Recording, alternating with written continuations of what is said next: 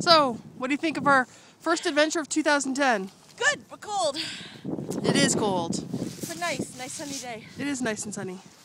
Let's do a self portrait. Hello! Hello, 2010. Woo! Woo!